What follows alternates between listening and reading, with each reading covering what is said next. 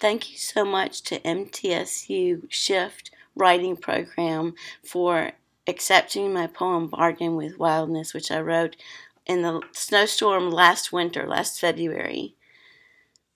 I've brought that one and three more. And I'm also the host of Gestalt Poetry Open Mic, which is monthly except for November and December. It's the fourth Saturday every month. So we have one coming up on the 26th with Jeff Cottrell. And you can go to my website at amyhoskins.com and the writing section, and you can see more about that as well as my publications and artwork. Thank you for looking. A bargain with wildness. A brotherhood of winter birds acclimate above the snow. At the feeder we can barely keep full. Gentle mother's white blanket has touched us all with a new silence. Comfort inside, terror and chills without. The wild survives somehow. A new gunshot across the street at Shute Park. Just one shot this time. I run to the window, see nothing except snow. Two men leaving each other, one still one running, no bodies, no blood to show. A return to innocence, appearances for now. Inside out, I'm irritable after days being snowbound, four inches more on the way tonight. The silence is thick, light is blinding from the sun. Two nights ago at dusk, and light, fluffy snow falling, giggles and laughter from kids enjoying their first snow in the deep dark videos, selfies, multiple gunshots a block away. The laughter stops, resumes with a peculiar humor at the absurdity of life and death on a hair trigger, and then they are gone. More snow on the way. The thick blue comforter spares us all night. Space heater, door closed to steward the heat. The rest of the house left to the struggling HVAC, already in auxiliary mode. We have power, heat, food, friends in our bubble, fireplace with fire and breakfast casserole to share. We disregard the bullet holes only to find joy in closeness, proximity to the frailty. Life is precious, absurd, glorious, and fleeting, depending where you are, who you are, for now the snow gives a semblance of equal grace. It melts with rain next week. A brotherhood of birds at the feeder. We keep our bargain with wildness. This next one is more spring oriented. I'm very much looking forward to spring. This is my goddess.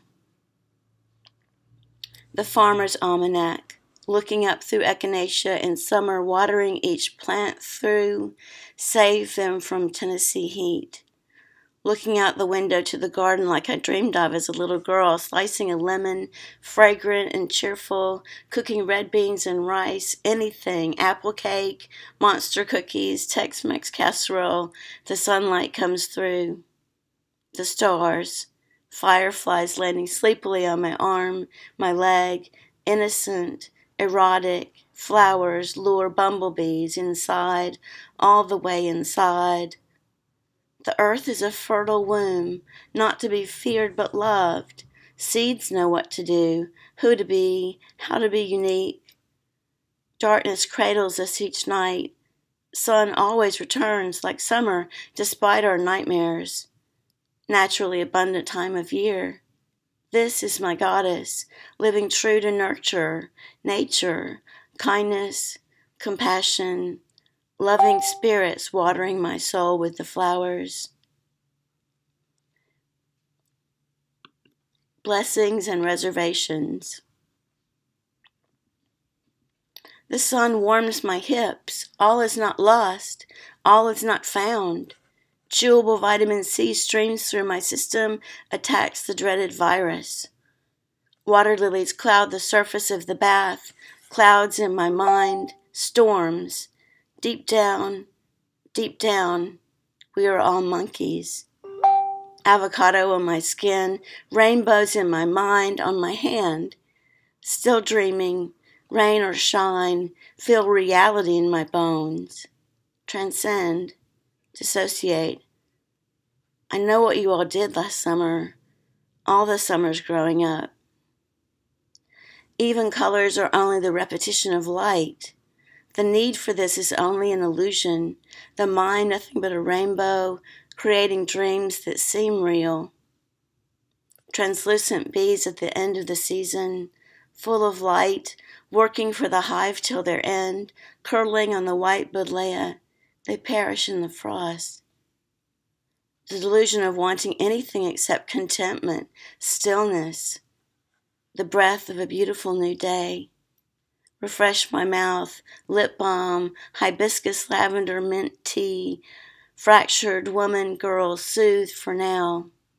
Do we dare create our days out of hair, clothes, books, music, food, flowers, but only need to breathe, to feel still?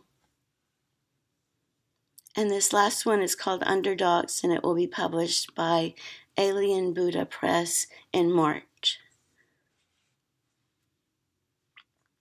Underdogs. Maybe I won't erupt, said Kilauea. I thought so, said Alice. Symbol of the overwhelmed, face in hands, people of color, women, girls, disappearing, what we have in common, being the underdogs. I always root for the underdog. It's my nature and a particular way of perceiving history. It burgles the truth otherwise. You accuse us of doing everything you commit. Gaslighting muddies the debate, blurs the truth in an evil mirror. Shakes the house when you drive by, moves the glitter from room to room. My face pulls down with gravity. The blues, it's only natural. Ghosts are helpful guides through the morass. Juliet says hi, regretting her decisions. John Lewis says hello, regretting nothing. Persephone is back from her dark trespass, bringing the dark womb of potentiality. I learn to stand in my own over time. I paint on my cast every day like Frida. Keep me safe trapped in a body I can't control, but forever soothe. Spa time for my spirit, my wounded soul, betrayed in love early on. I'm learning to love me.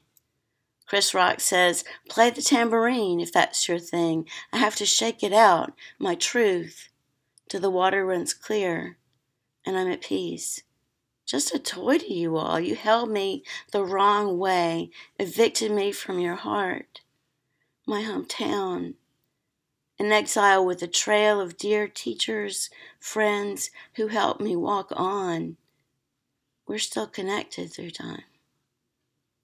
Maybe I won't erupt today, I said. I thought so, said Alice. She never roots for the underdogs.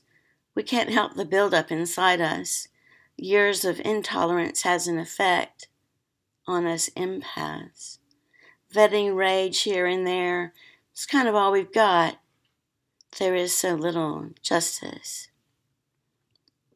Thank you so much for listening. Again, my website is www.amyhoskins.com, and I'd love to have you guys at Gestalt Poetry Open Mic on the 26th.